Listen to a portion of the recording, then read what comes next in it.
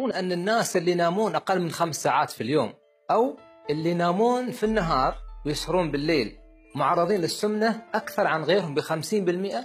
ليش طيب؟ لما يضطرب نوم الإنسان فإن جسمه يفرز هرمون اسمه جريلين ويسمى أيضا بهرمون الجوع. هذا الهرمون لما يفرز من الجسم يبدأ الإنسان يبحث عن السكر مباشرة ولذلك يأكل أكثر ويتعرض لأخطار السمنة. هذا هو الوقت الطبيعي لنوم الإنسان. بالليل. تعرفون شو يستوي في الناس اللي ينامون في النهار بدل الليل؟ لما الدماغ يدرك بأن الشمس طالعة من خلال العين طبعا يحاول واحد منا أنه هو ينام.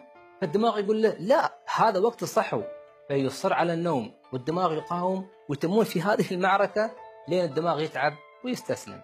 لما هالعملية تتكرر على مدى الأيام والسنين يبدأ جهاز المناعة في الجسم يضعف ويحترق وترتفع نسبة احتمال إصابة هؤلاء الناس بالسرطان.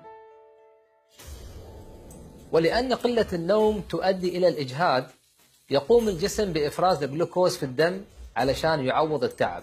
ومع الوقت يبدأ الجلوكوز يملأ الأوعية الدموية ويزداد احتمال إصابة الإنسان بمرض السكري. وتبدأ قدرة الأوعية الدموية على تحريك الدم بشكل فعال تضعف مع الوقت فيصاب الإنسان بأمراض ضغط الدم. طيب شو الحلول الموجودة اليوم غير عن الأدوية لحل مشكلات النوم؟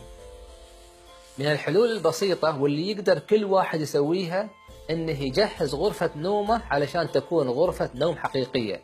يعني لازم تكون مظلمة وهادئة وباردة نوعا ما لأن الأشعة الزرقاء اللي تطلع من الشاشات تمنع تدفق هرمون النوم في الجسم.